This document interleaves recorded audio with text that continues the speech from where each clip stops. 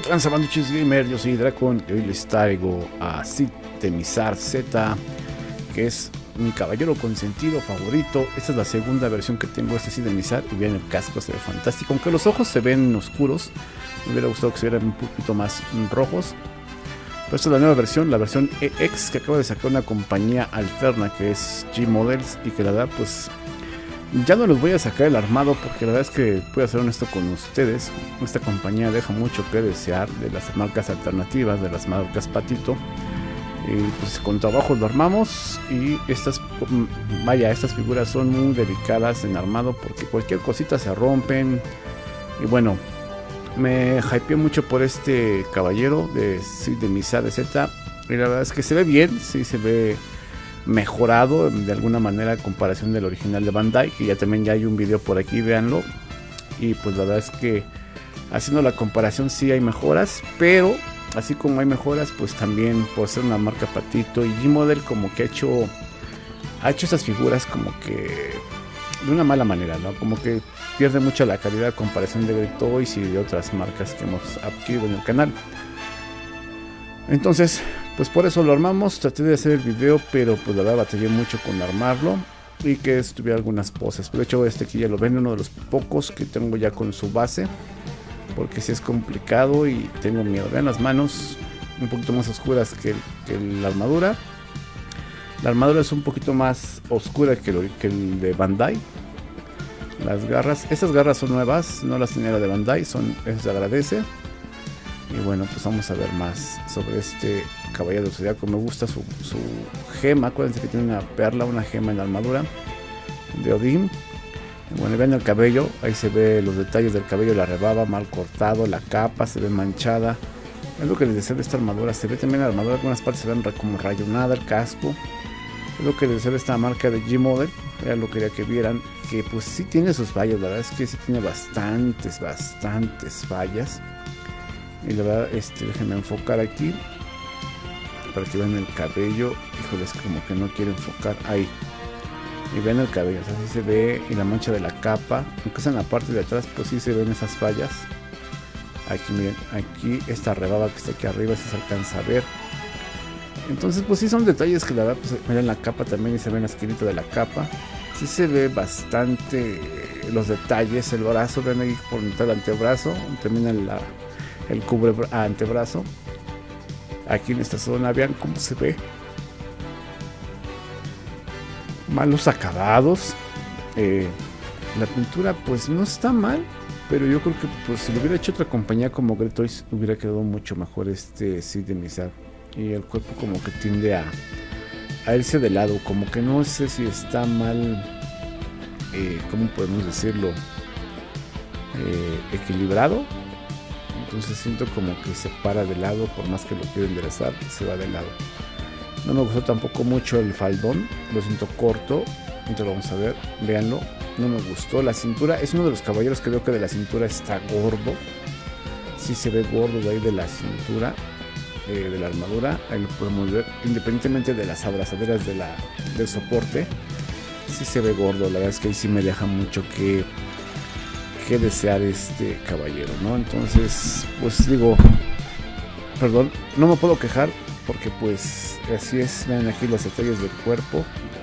Esas piezas son muy delicadas, se caen cada rato. Y bueno, es un batallar con estas rodilleras. Y bueno, este vean el faldón también se ve muy corto, no sé, como que nunca me gustó cómo quedó este faldón a comparación del original de, Bandai, se ve mejor el de Bandai. Hay cosas que sí están mejores en este, pero pues la verdad es que de G-Model nada más nos queda decir que pues sigue haciendo cosas malas, como la capa, ven aquí la capa. El muñeco no tiene nada de rojo más que las capas, vean aquí, esto de rojo, es los detalles de G-Model, aquí igual, y pues esa es la parte que se va a hacer mal. La capa ya no es como la de Bandai, la de Bandai era de telita, y esta es de plástico, y ven aquí que los cortes malos se ven feos, la mancha de aquí arriba, y bueno, pues es son los detalles que pues G-Model nos trae. La verdad es que sí se pierde mucha calidad por lo que estamos pagando. Vean la parte de atrás cómo se ve el faldón. No sé, la verdad no, no me terminado de dar. y pues soy fan, lo adquirí porque soy fan de Sid de Mizar, por eso me atreví a comprar este muñeco que la verdad lo compré desde el mes de abril y me llegó bastante tarde. A muchos ya les habían llegado con sus distribuidores, y mí apenas me llegó. Vean este faldón que decía, por más que trato de enderezarlo, no queda, ya ven, se va hacia atrás. Entonces eso sí me molesta, me es incómodo tratar de que quede esta parte de, este caballero aquí. Las pinilleras, la rodilla, pues no se me queda, pero miren cómo está flojita. En cualquier momento la, la boto. Y no quiero eso. Bueno, nada más para que prueben ustedes, pero vean cómo está bien flojita. En cualquier momento se cae. Y sí, la verdad es que este, la capa está bien dura. Si trato de abrir la capa o de cerrarla, siento que se va a romper en algún momento. Entonces, pues trato de no tocar mucho la capa por esos detalles. La verdad es que sí, pues digo, puede haberse una figura mucho mejor, de mejor calidad si lo hubiera hecho Bandai inclusive, eh, Toys, CS Models, que hemos visto en otros videos, bueno yo al menos que soy seguidor de todas personas que hacen estos videos, de estos caballeros, se ve que sacan buenas figuras de calidad, pero G-Model, híjole, no, siempre se batalla, siempre se batalla para armarlos, siempre tienen sus detalles, y la verdad es que este, hasta la base la tuve que rearmar. Fíjate cuántas piezas tuve que construir porque no encontraba la altura exacta para este. Y aún así, este, me está costando trabajo mantenerlo de pie. Porque ahora sí se batalla. Repito, lo, adquirí porque soy fan. Fue mi primer caballero, un poquito de historia. Fue el primer caballero de Zodíaco que tuve. Eh, obviamente tuve los vintage. Aquí está la armadura. Es lo que quería enseñarles aquí, los pies se ven bien. Esta parte creo que se ve bien, pero aunque no me gusta lo de las rodilleras que se ve la marca, ¿no? Del corte del, metal, muy marcado. Y bueno, les decía que este, aquí los rostros, vean cómo se ve con el cabello. Y ya no encaja más, así se ve con el cabello. Y porque el cabello viene en tres partes, se las voy a mostrar. Viene la parte de enfrente, que es esta. Y esta unión que viene con la parte de atrás. Entonces, aquí la otra parte, vean, vienen tres partes, entonces es un relajo para unir el cabello y hay que saberlo armar porque viene con esta piececita que les voy a mostrar ahorita. Aquí está la cara. Vean la, del rostro de guerra con la boca abierta. La del rostro de los ojos cerrados, que ya es como que el, un eh, factor común en todas estas figuras que estén con los ojos cerrados aunque sabemos que sí, pues no era mucho de tener los ojos cerrados y la cara como que más seria de, de Misal. Y ven aquí la rebaba que tiene la punta. Está bien el acabado del rostro, no me voy a quejar en esa parte, pero sí hay cosas que vienen que afectan mucho al armarlo, al, ponerle la armadura, ¿no? Entonces vean el Sith como que se ve medio chueco, como que parece viborita, no sé. Por más que lo quise enderezar, no se pudo. El faldón también no me gustó, como que siento que le queda como que chico, como que un calzón apretado, así lo veo yo.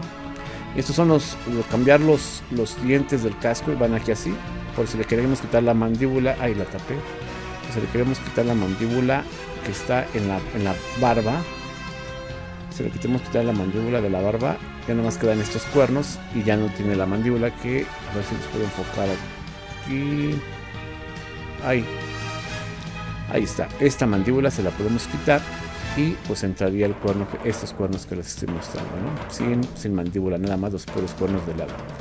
Ahora sí cada quien este, lo montará como le guste, a, como eh, cada quien quiera. Y tiene esta piececita que pues tratamos de armarlo y casi daño el cabello, voy a mostrárselos.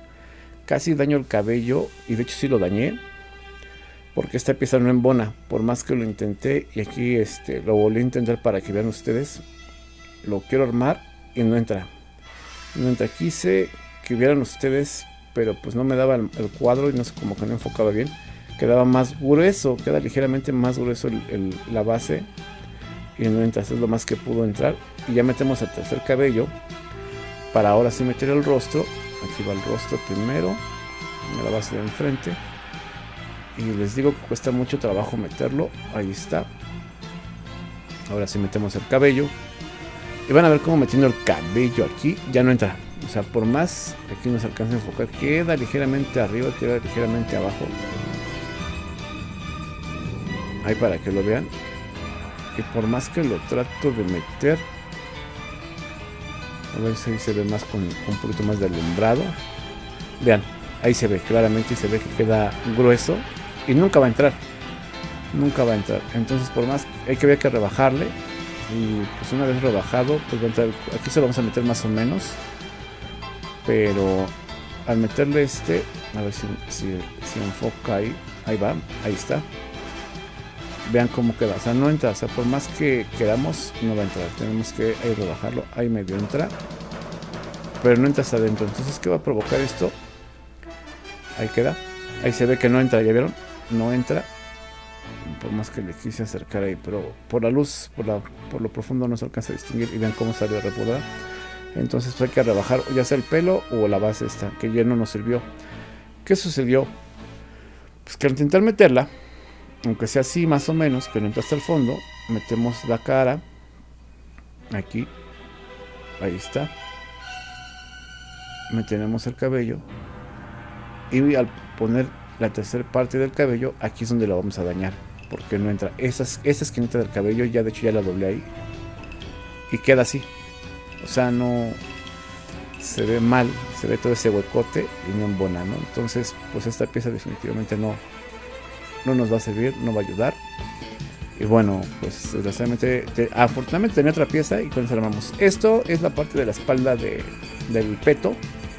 Por si no quieren ponerle la capa, pues se la ponemos en la parte de atrás, ¿no? Y le quitas la capa y, pones esta parte del peto en la, en la espalda y ya, con eso ya tienes eh, para poderlo armar sin este, la capa. Pero a mí me gusta con la capa, si lo conocimos, bueno, así lo conocí yo. Y pues así me agradó. Y ya por último les voy a mostrar las manos. Tiene estas de guerra, las que conocemos normalmente que están en la caricatura. Con las garras, las uñas ya salidas. Aunque las uñas están mal cortadas, se ven mal. Pero pues bueno, este, son los acabados de G-Model, ¿no? Creo que pueden haber hecho un trabajo mucho mejor como lo hemos visto con otras. Los puños cerrados. Eh, clásico de todos los, los eh, Y bueno, pues este con las manos firmes las garras puntiagudas. Vean las uñas mal cortadas. Siento que le faltó, pero bueno, no. Yo creo que esto ya sería en segundo plano, ¿no? Lo más importante sería todos los detalles que les mostré de la capa, del casco, de la armadura, del cuerpo. Vean aquí esas también. Esas son nuevas, no venían. Me gustaron, me gustó que se las incorporaran. Que tiene esta rebabita aquí en la parte de por la muñeca, pero bueno. Y los cubrepuños que pues no me gustó porque cortarlos se ve y el, el corte se ve despintado. Pero bueno, este sí de Misat, así se ve. La verdad de la marca G-Model no me gustó, la verdad es que pues me queda, me queda mucho a deber G-Model con este Sid de Mizar. Pero pues bueno, si tienes fan como yo, pues adquiérelo. No es, está caro, la verdad es que está caro para lo que nos ofrece. Y vean la capa, nos cuesta trabajo acomodarla. Pero bueno, si eres fan de como yo de G-Model, pues adquiérelo. Si no, pues mejor asistente. Espérate una, a ver si lo saca Bandai u otro compañero, esta versión X. Porque la de G-Model sí nos quedó mucho de ver con esta, con esta figura. Eh, creo que la mejor cita que ha sacado sin lugar a dudas al de Barán de Tauro, igual con sus detalles, pero bueno, así para con estas marcas alternativas y más G-Model que todavía ya le he echado mucha fodera. Yo me despido, recuerda suscribirte, seguirnos en la taberna del gamer, dale like, activa la campanita de notificaciones para más videos como este. Yo me despido y nos vemos hasta la próxima con más videos, vlogs y más streaming. Nos vemos, gracias, bye bye.